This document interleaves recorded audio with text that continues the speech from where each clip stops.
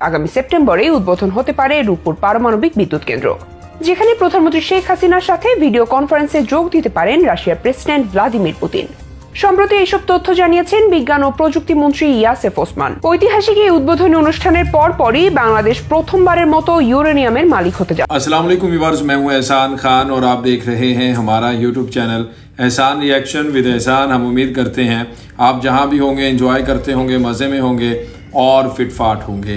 Viewers बहुत ही अहम video है। आपको बता रहे हैं कि इनागोरेशन होने जा रही है। अगस्त के मंथ में एक ऐसे प्रोजेक्ट की जिसको दुनिया ने बहुत ही डीपली देखा। बांग्लादेश के रूपुर न्यूक्लियर पावर प्लांट की बात हो रही है। जी हाँ उसका अगस्त में जनाब इनागुरेशन होने जा रहा है, जिसमें व्लादिमीर प्यूटन रशिया के प्रेसिडेंट वो भी उसमें शिरकत करेंगे। जी हाँ आपको बता रहे हैं कि न्यूक्लियर पावर प्लांट जो बांग्लादेश के ऊपर एक बहुत ही ज़्यादा प्रेशर था और बांग्लादेश ने भी बड़ा रिस्क लिया और जब बनाने जा रहा था तो इसके ऊपर बड़ा प्रेशर भी था, ये ना बनाए अमेरिका भी इसके ऊपर बहुत ही ज़्यादा प्रेशर बना रहा था, दुनिया इसके ऊपर बात कर रही थी वेस्टर्न कंट्रीज़ लेकिन बांग्लादेश ने यह बड़ा कदम उठा लिया। अब जनाब 11 बिलियन यूएस डॉलर एक बड़े आ, मैं कहता हूँ कि अमाउंट से ये बनाया गया प्रोजेक्ट और इसका इफ्तः होने जा रहा है ओपनिंग सेरेमनी होने जा रही है जिसमें व्लादिमीर प्यूटन भी शिरकत करेंगे शेख हसीना के साथ। तो अच्छा आपको ये भी बताएँ इसकी पहले वीडियो हम देखेंगे लेकिन इससे पहले मैं आपको ये बता देता हूँ कि ये दुनिया का छत्तीसवा न्यूक्लियर पावर प्लांट है, जो बांग्लादेश अब छत्तीसवा ममालिक दुनिया भर में हो गया जो इसके पास ये टेक्नोलॉजी आ गई है। लेकिन साउथ एशिया में, मैं आपको बता रहा हूँ कि बांग्लादेश तीसरा मुल्क बन चुका है। न्यूक्लियर पावर प्लांट के टेक्नोलॉजी के लिहाज से बांग्लादेश तीसरा बड़ा मुल्क बन चुका है, जिसके पास ये टेक्नोलॉजी आ चुकी है। तो ये तो भाई बड़ी बड़ी मुबारक हो बांग्लादेशियों को कि उसने इतना बड़ा माइलस्टोन अचीव कर लिया है। लेकिन मैं आपको बताऊँ कि जब बांग्लादेश का एक ख्वाब था, ये बहुत बड़ा सपना ड्रीम था कि वो न्यूक्लियर पावर प्लांट बनाए। लेकिन जब बंगा बंधु शेख मुजीबुर रहमान ने भी कहा था, जब बांग्लादेश इंडिपेंडेंस हुआ तो तब रशिया ने कहा कि आप अब नहीं बना सकते, क्योंकि आपके पास इतने पैसे नहीं हैं कि आप हमें रिफंड कर सकें। लेकिन फिर उनकी बेटी ने उसका, मैं कहता हूँ कि वो जिम्मा उठाया। आज साबित कर दिया पचास साल के बाद उसने कि मैंने जो, जिसको कहा जाता था कि भाई आप नहीं बना सकते, उसने बना लिया है। और फिर 11 बिलियन यूएस डॉलर से बना लिया है। तो ये तो बड़ी यार, मैं कहता हूँ, खुशखबरी की न्यूज़ है। लेकिन इसके ऊपर एक हमारे पास वीडियो भी है कि बांग्लादेश जो कहता है, वो कर दिखाता है और दुनिया को सरप्राइज़ भी देता है। लेकिन पहले वीडियो, फिर उसके ऊपर हम बात करेंगे कि व्लादिमीर प्यूटन किस तरह से शिरकत करेंगे और कैसे वो शिरकत करेंगे और इतना बड़ी जो इनागोरेशन हो रही है, उसके ऊपर हम बाद में बात करेंगे। जुड़े रहिएगा, अंत तक इस वीडियो को ज़रूर देखिएगा। अगर अभी तक आपने हमारे यूट्यूब चैनल एहसान रिएक्शन को सब्सक्राइब नहीं किया तो जल्दी से चैनल को भी सब्सक्राइब कर दें।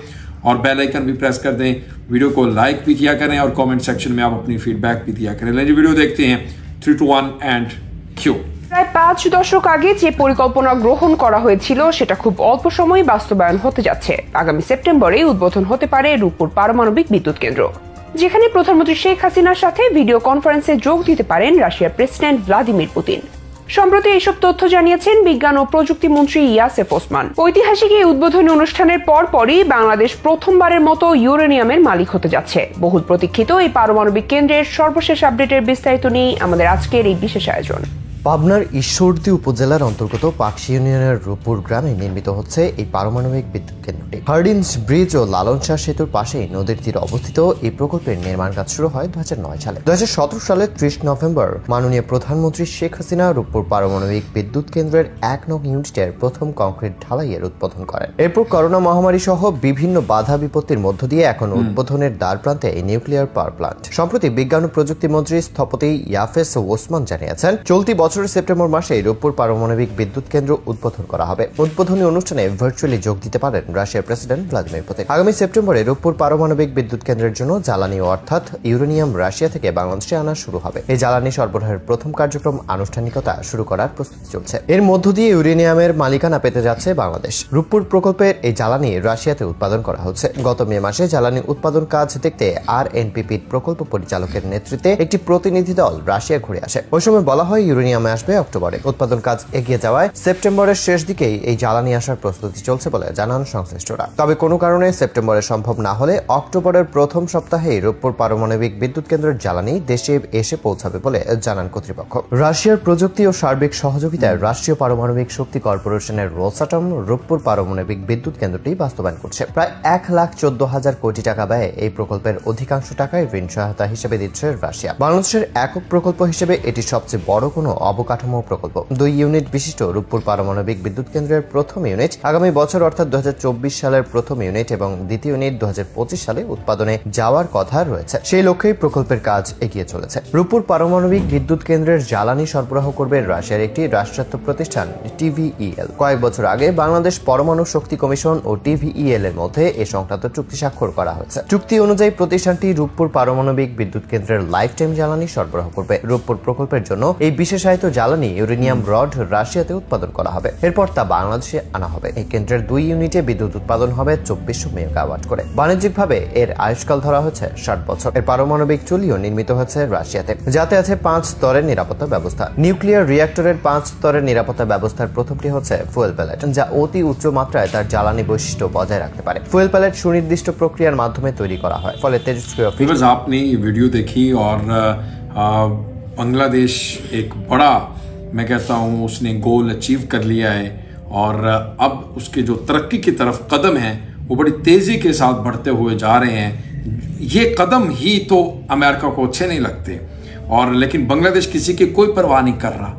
वो अब बड़े से बड़े फैसले कर रहा है बड़े बड़े डिसीज़न ले रहा है। वो कह रहा है कि देखें अच्छा ये न्यूक्लियर पावर प्लांट के बारे में आपको पता होगा कि उनका जहाज़ शिप आ रहा था। सैंक्शंस लगा दी, पाबंदी लगा दी कि बांग्लादेश की पोर्ट के ऊपर नहीं आने देना इसको। फिर वो पहले गया इंडिया फिर वहाँ से चाइना चाइना से फिर बांग्लादेश, वो माला माल जहाज़ आया। यानी इस तरह की वो सेंशन लगा रहा बांग्लादेश ने आखिर में आकर फिर ये फैसला कर लिया कि कब तक हम इस सैंक्शंस के जंगल में, चुंगल में सॉरी जकड़े रहेंगे। तो फिर आप, अब देख लें कि शेख हसीना ने ब्रिक्स में भी जाने का फैसला कर लिया और फिर उसके साथ साथ बड़े बड़ी नेगोशिएशन हो रही हैं। अब ये देखें, न्यूक्लियर पावर प्लांट का अफ्ताह हो रहा है। तो लेकिन सबसे अच्छी चीज़ ये है कि व्लादिमीर प्यूटन भी इसका हिस्सा होंगे। वो अच्छा ऑनलाइन शिरकत करेंगे वर्चुअल और उसके साथ साथ, लेकिन जो लाइव वहाँ पर होंगी वो शेख हसीना होंगी।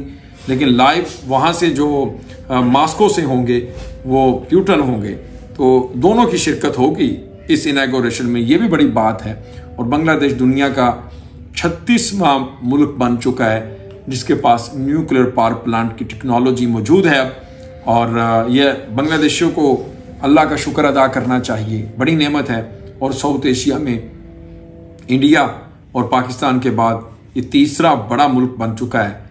जिसके पास न्यूक्लियर पावर प्लांट बन चुका है रूपुर की सूरत में। तो बहुत बहुत मुबारक हो इसी के साथ। मुझे नहीं इजाज़त, अपना बहुत ज़्यादा ख्याल रखिएगा। अल्लाह हाफिज़।